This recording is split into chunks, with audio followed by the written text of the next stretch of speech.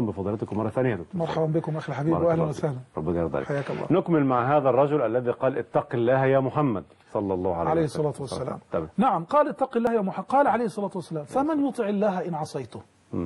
تأمنوني على أه... تأمنوني أيأمنني يعني يعني رب العالمين. أيأمنني على أهل الأرض ولا تأمنوني؟ يعني ربنا اللي أرسلني وربنا اللي... الذي إيه؟ يعني أعطاني هذه ال- ال- المكانة. وأنتم لا تأمنوني؟ قال ثم أدبر الرجل. انطلق. انطلق. مم. لو كان هو جاي فجر قنبلة هكذا. ومشي. بالضبط. لو كان جاي عشان يتعلم أو عشان يفهم. كان جلس. كان جلس. صح ولا صاحب لا؟ فتنة فعلا. والأعرابي اللي في القصة اللي فاتت جلس وسمع كله وفي الآخر انصرف. صحيح. مم. آه قال عليه الصلاة والسلام أفلح إن صدق. قال لئن صدق هذا ليدخلن الجنة. نعم. شوف. فهذا أدبر. فاستأذن رجل من القوم في قتله يرون أنه خالد بن الوليد. قال أقتله يا رسول الله. قال عليه الصلاة والسلام إن من ضئضئ هذا قوما يقرؤون القرآن. أيوه. لا يجاوز حناجرهم. يقتلون أهل الإسلام ويدعون أهل الأوثان. شوف الإجرام بتاعهم سبحان الله. قال يمرقون من الإسلام كما يمرق السهم من الرمية لئن أدركتهم لأقتلنهم قتل عاد. هذا كلام مين؟ الرسول عليه الرسول عليه. الصلاة والسلام. صلى الله عليه وسلم. هذا هذا الرجل اللي هو النبي عليه الصلاة والسلام يعني تنبأ. أنا أود أن أخذ الحديث على بعضه جملة نعم. حتى نعم. تعم الفائدة. نعم. حبذا لو قلته على بعضه. الحديث من أوله؟ من أوله. من أوله. مم. الحديث من أوله وهو حديث في الصحيحين. نعم. حديث آه، أبي سعيد الخدري قال بعث علي وهو باليمن بذهبة في تربتها إلى رسول الله صلى الله عليه وسلم فقسمها بين أربعة نفر. تمام. قسمها بين الأقرع بن حابس الحنظلي وعيينة بن ابن ابن بدر الفزاري وعلقمة بن علاث العامري وزيد الخير الطائي. قال فغضبت قريش. فقالوا قريش يعني قالوا أتعطي صناديد آه، نجد وتدعنا فقال رسول الله إني إنما فعلت ذلك لأتألفهم. يعني أتألف هؤلاء؟ الناس. فجاء رجل كث اللحية مشرف الوجنتين غائر العينين محلوق الرأس فقال اتق الله يا محمد. اتق الله يا محمد. قال فقال رسول الله صلى الله عليه وسلم فمن يطع الله إن عصيته فمن يطع الله إن عصيته أيأمنني على أهل الأرض ولا تأمنوني؟ قال ثم أدبر الرجل فاستأذن رجل من القوم في قتله.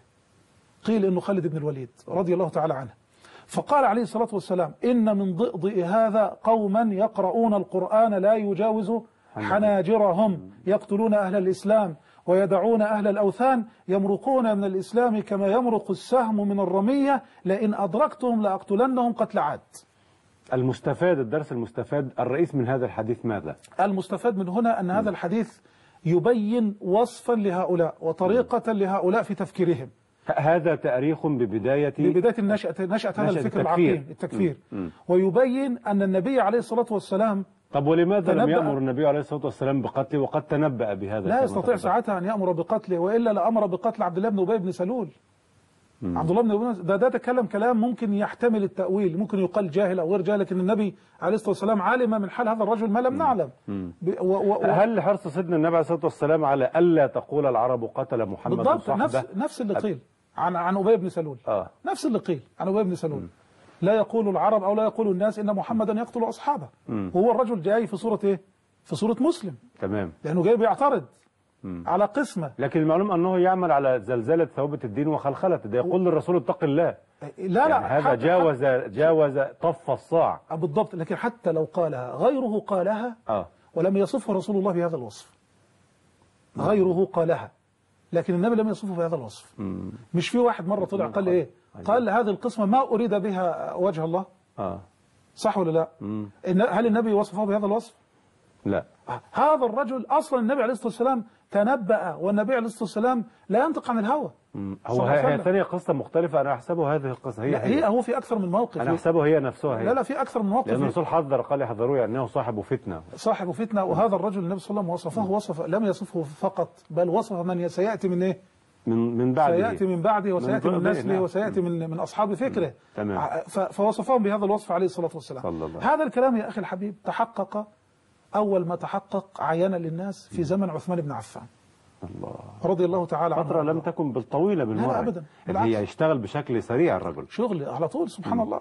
حيث اجتمع على عثمان كما نعلم جماعة من هؤلاء. تمام. من الخوارج هؤلاء. فحصروه في بيته ثم قتلوه. طب وبعدين؟ وبعدين هو كفروا. فضيلتك أطلقت مصطلح خوارج عليهم. هؤلاء هم الخوارج؟ هؤلاء هم الخوارج. أم سيأتي فيما بعد؟ أنا أحب أن أمشي لا, بتسلسل. لا الخوا... الخوارج هم هم ه- هذه الشرذمة أو هذه الفئة من الناس خرجوا على عثمان. هذه أول نشأة الخوارج. هكذا نعم. أنا أضع المصطلح في تاريخ الخوارج الخوارج أيوة. اللي اللي بيخرج بيتفرع منهم بعض الإيه؟ المسميات والمصطلحات وعلى رأسها التكفيريين. تمام. لكن أصلهم أصل فكرهم وما عرفوا به من من يعني الخوارج هم الذين خرجوا على سيدنا على عثمان سيدنا عثمان. على سيدنا عثمان بن عفان. ثم بعد عثمان عملوا إيه؟ لأن قصة عثمان طبعا طويلة وكلنا يعلم فيها الكثير يعني. فماذا فعلوا بعد عثمان؟ كفروا عليا رضي الله عنه. هم خرجوا على عثمان أم علي؟ عليهم في, في البداية خرج على عثمان. مم. خرج على عثمان وقلبوا الناس على عثمان. تمام. والعجيب إن اللي كان مشترك معهم في هذه ال- ال- ال- القضية من؟ الروافض أيضا اللي هم اصبحوا روافض بعدها. مم. ما شوف خلي بالك وأنا يعجبني التسلسل بدون الأمة- نظرات حتى تأتي فيما بعد. الأمة ابتليت بهذين الفريقين. رافض الشيعة. آه الروافض هؤلاء نشأوا مع سيدنا علي بعد سيدنا علي. والخوارج. ولما نا- نأتي لكي يعني ندقق النظر ونبحث في أصل نشأة الفرقتين ربما ستجدهم على يد رجل واحد أو مجموعة واحدة من الناس. يعني ابن سبأ لم آه، يعني يعني لم لا يعفى أبدا. ابن سبأ من أنه كان سببا في نشأة الفرقتين معا. هو يقال حتى بالتاريخ إن ابن سبأ هو قلب كثيرا من الناس على سيدنا عثمان بن عفان. ما هو قلب على عثمان بحجج ما يعني واهية آه. وأعذار يعني أو, أو, أو أمور بالية ما أنزل الله تعالى بها من سلطان. لكنه استقطب مين؟ استقطب الموتورين الحمقى من الناس أصحاب الجهل. الذين في نفوسهم مرض. الناس اللي هي جالسة بس تسمع عشان إيه؟ أول ما يقال ده فلان ده بيعطي مش عارف وبيترك وفلان هذا بيقدم هذا ويؤخر هذا. فيقال لا هذا طغيان هذا ظلم. وربما خرج عليه لهذا السبب. وهو لا يدري هذا المسكين ان أن من دعاه إلى ذلك لا يريد آه، منه أن مسألة أكل وشرب ومنصب لفلان وعلان. لا القضية أكبر. هل هذه الفئة الآن نستطيع أن نطلق عليها كما يقال أن حزب الكنبة؟ أم هذه مختلفة؟ لا طبعا مختلفة. مختلفة. مختلفة تماما طبعا. طبعا. آه. تمام. فهنا يعني آه، آه، كفروا عليا إنه حكم الرجال وقالوا إن الحكم الا الله. ويجيب لك آية من القرآن. وبيستندوا على قرآن. القرآن نعم. لكنهم إيه؟ الواحد منهم كلمة حق أريد. بها بالضبط باطل. بالضبط. وهكذا. حتى إن عليا رضي الله عنه قا- قاتلهم وقتل منهم عددا كبيرا جدا كما هو معلوم في موقعة النهروان. طيب. في هنا أيضا في حديث في صحيح مسلم إذن لي أيضا أن أذكر به لأنه يعني ندقق من خلاله أكثر في هذه الفرقة. هو حديث زيد بن وهب الجهني. أنه كان في الجيش الذي كانوا مع علي الذين ساروا إلى الخوارج يعني خرجوا لقتالهم. تمام. فقال علي أيها الناس إني سمعت رسول الله يقول يخرج قوم من أمتي يقرؤون القرآن ليس قراء ليس قراءتكم إلى قراءتهم بشيء. يعني ناس عمالقة في تحقرون قراءتكم إلى قراءة. عمالقة. ولا صلاة ولا صلاتكم إلى صلاتهم بشيء ولا صيامكم إلى صيامهم بشيء. يقرؤون القرآن يحسبون أنه لهم وهو عليهم. وهو إيه؟ يعني هم يعبدون في الظاهر كما يبدو لنا. طبعاً. يعني قراءة قرآن وصيام وصلاة نعم وزكاة. كل شيء. شيء شيء إذا لا نغتر بمن يقيم هذه العبادات دكتور سيد لا لا لا يغتر به. يسمع إليه يسمع للعلم الذي ينقل يسمع للفكر الذي يبثه في الناس. تمام. نعم. آه، صلاته لنفسه لكن فكره هذا ممكن يعني ممكن يقيم الأمة ممكن يهدمها. صحيح. آه. صحيح. لا تجاوز صلاتهم تراقيهم. يمرق- يمرقون من الإسلام. مروق السهم من الرمية لو يعلم الجيش الذي يصيبونهم ما قضي لهم على لسان نبيهم لنكلوا عن العمل. قال وآية ذلك أن فيهم رجلا له عضد وليس له ذراع. دي هذا وصفه وصف. كبير هؤلاء ساعتها يعني. تمام. على رأس عضده مثل حلمة الثدي. قال عليه شعيرات بيض. فتذهبون إلى معاوية وأهل الشام وتتركون هؤلاء يخلفونكم في ذراريكم وأموالكم. والله إني لأرجو أن يكونوا هؤلاء القوم فإنهم قد سفكوا الدم الحرام وأغاروا في صرح الناس فسيروا على اسم الله. هذا الكلام دليل على إيه؟ دليل على أن علي رضي الله تعالى عنه وأرضاه آه، آثر آه، وطلب من الناس هذا أن يخرجوا لملاقاة هؤلاء وملاحقة هؤلاء وقتال هؤلاء وقتل هؤلاء كان بالنسبة لسيدنا علي مقدم بمرحلة كبيرة جدا وبدرجة عالية جدا عن على قتاله معاوية. لمعاوية مم. شوف الكلام أولويات. أولويات طبعا وذكر الحديث إلى أن قال وقتل بعضهم على بعض وما أصيب من الناس يومئذ إلا فلان فقال علي التمسوا منهم المخدج. فالتمسوه فالتمسوه فلم يجدوه اللي هو الرجل بالأوصاف السابقة هذا. آه ذراع عضد وليس له ذراع. نعم. اسمه هذا اسمه مخدج. نعم. هذا هو نفسه الرجل. فالتمسوه فلم يجدوه. فقام علي بنفسه. فرأى ناسا قد قتل بعضهم أو قتل بعضهم على بعض. قال أخروهم فوجدوه مما يلي الأرض فكبر. يعني وجده قتيلا بين القتلى سيدنا علي رضي الله عنه. ثم قال صدق الله. وبلغ رسوله. قال فقام إليه عبيد السلماني فقال يا أمير المؤمنين الله الذي لا إله إلا هو. لسمعت هذا الحديث من رسول الله؟ صلى الله أنت متأكد يا, يا, يا, يا, يا علي أنك سمعت هذا من رسول الله؟ فقال إي والله الذي لا إله إلا هو حتى استحلفه ثلاثا وهو يحلف له. نعم. سيدنا علي رضي الله تعالى عنه وارضاه. والحديث صحيح مسلم. حديث قتلهم. حديث قتل هؤلاء أو بداية قتال هؤلاء على سي... على يد سيدنا علي بن أبي طالب. وفي بعض ألفاظ الحديث هذا يأتي في آخر الزمان قوم حدثاء الأسنان. يعني صغار في السن أو كذا أو آه، يعني ما عندهم الخبرة يعني. سفهاء الأحلام.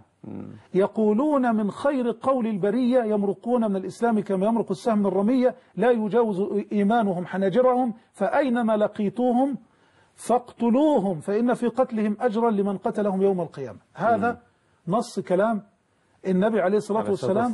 في في في في في أمره طيب. لأصحابه ومن بعدهم بقتال هؤلاء بل وبقتل هؤلاء. وصح عنه أنه قال شر قتلى تحت أديم السماء وقال خير قتلى من قتلوه وقال طوبى لمن قتلهم أو قتلوه وقال أينما لقيتوهم فاقتلوهم فإن في قتلهم أجرا عظيما. وقال عنهم كلاب النار. هكذا وصفهم عليه الصلاة والسلام. وهكذا.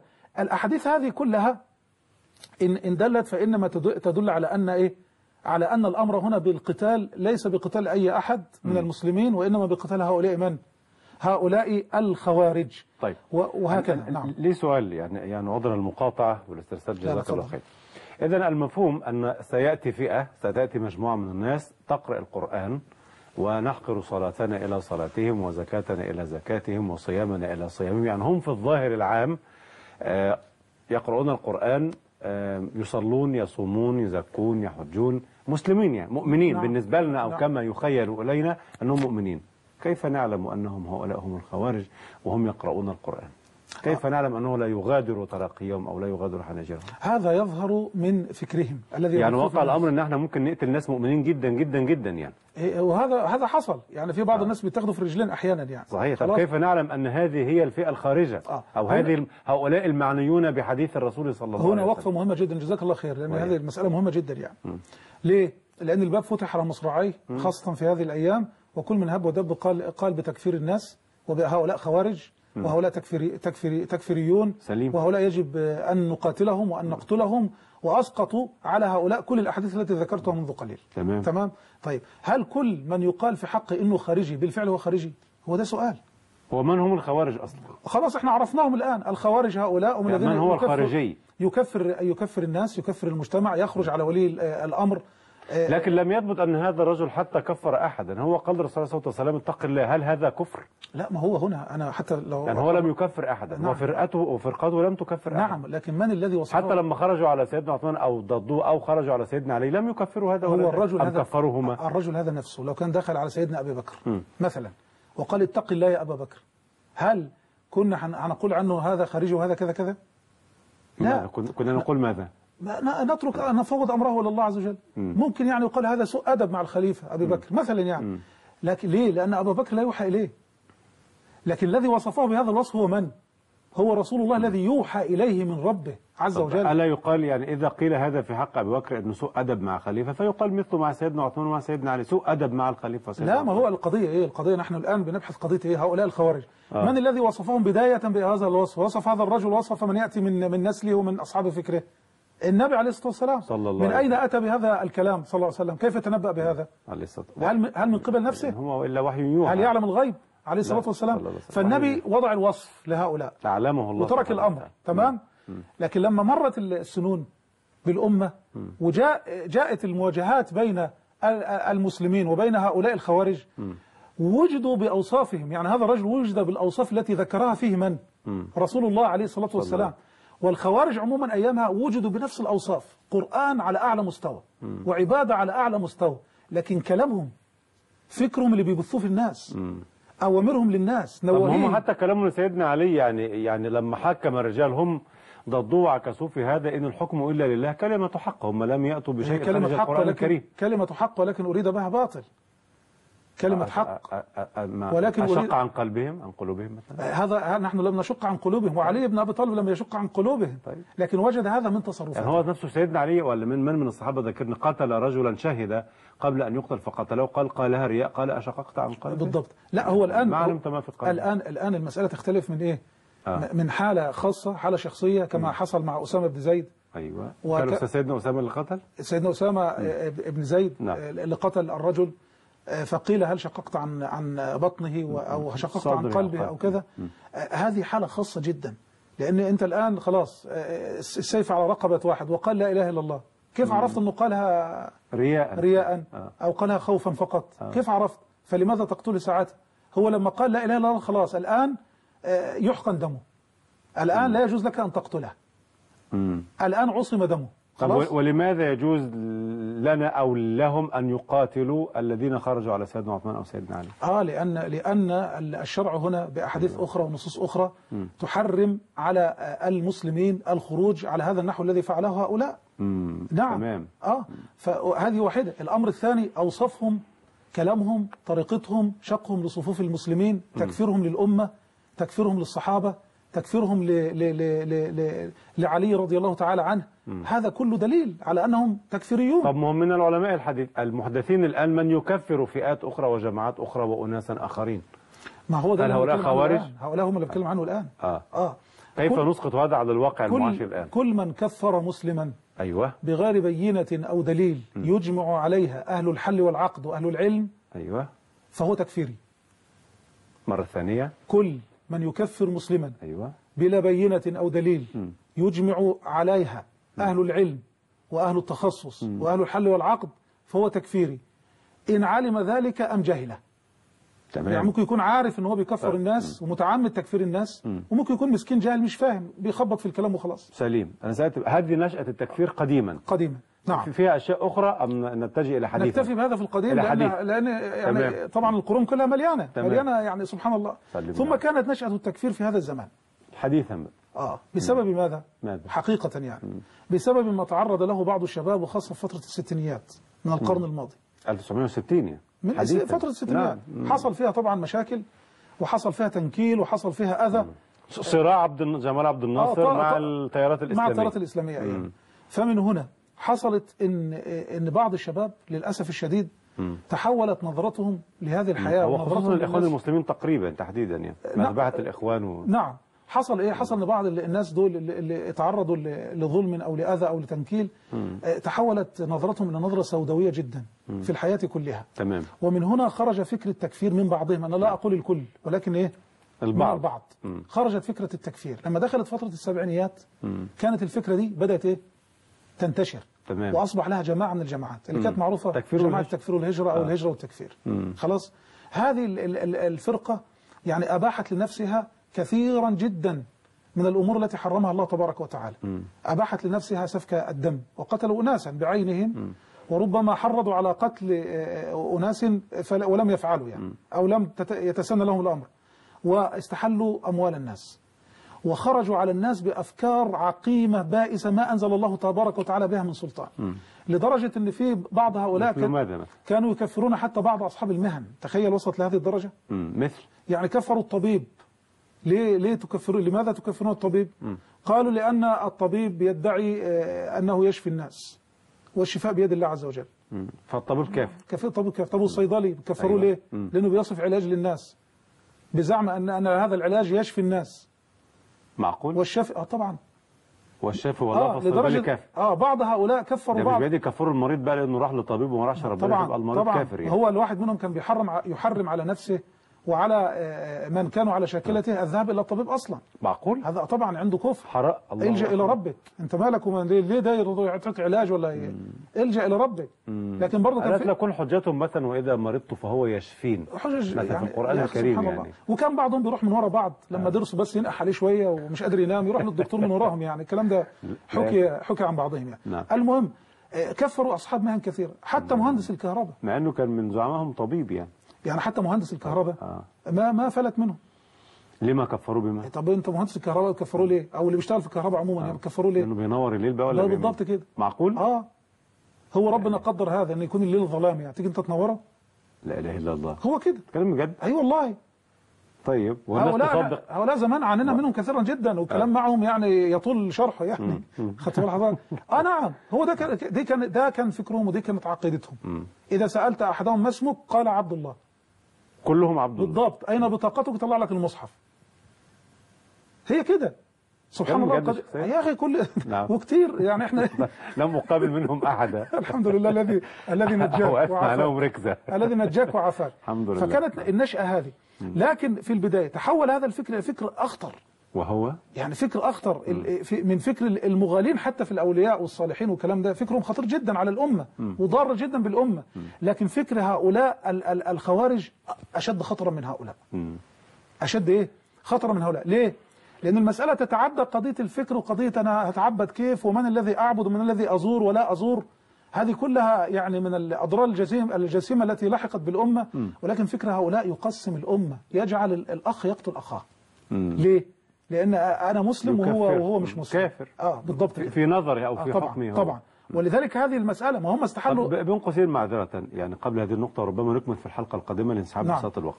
في أحاديث التي تفضلت في الأحاديث التي تفضلت بها عن رسول الله صلى الله عليه وسلم قال الرسول في آخر الحديث فاقتلوهم. طب هم يقتلون الأمر لم يوجه إلى ولي الأمر لم يقل ولي الأمر لم يقل صاحب الكلمة لم يقل أمير المؤمنين لم يقل أي شيء فاقتلوهم هذا أمر بالقتل على عواهنه لكل من يرى أن هذا كافر. يقتله؟ كل النصوص التي جاءت عن رسول الله صلى الله عليه وسلم والتي يأمر فيها بحد من. حدود الله أو بقصاص أو غير ذلك كلها تؤول إلى ولي الأمر. من لم يرد في الحديث هذا. حتى لم في الحديث. فاقتلوهم. أصل خلاص أصل في أصل في في, يعني في سيدنا خالد قال اقتلوا يا رسول الله قال حذر منه وبدأ وأبدى علاماته وقال فاقتلوهم. نعم. ليه؟ لأن في ثوابت أخرى. في آه. أصول أخرى ونصوص أخرى كثيرة جدا تبين أن كل كل ما جاء عنه عليه الصلاة والسلام في تفضل. القتل مثلا والقتل هذا حد من حدود الله. نعم. فقضية القتل هذه من الذي يقوم بها؟ ولي الأمر. ولي الأمر. هذا أمر مسلم به خلاص. طيب. فلا ننتظر إن النبي عليه الصلاه والسلام في كل آه، آه، أوامره ب- ب- بقتل فرقة بعينها أو بقتل شخص بعينه. لا ننتظر إن في كل حديث يقول إيه هذا لولي الأمر أو يا أو يا إمام المسلمين اقتله. لا.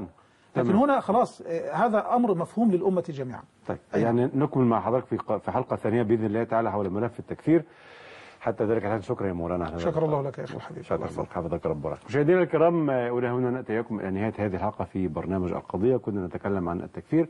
نكمل في الحلقة القادمة بإذن الله تعالى. حتى ذلك الحين أشكر حضراتكم وباسمكم جميعا أشكر ضيفنا الكريم الداعي الإسلامي الكبير فضيلة الشيخ الأستاذ الدكتور السيد ألف البشيش شكرا لفضيلتكم شكرا لك حتى ضمان لقاء جديد رقم نيات وعطر تحيات محمد البطريق. شكرا لكم. والسلام عليكم ورحمة الله تعالى.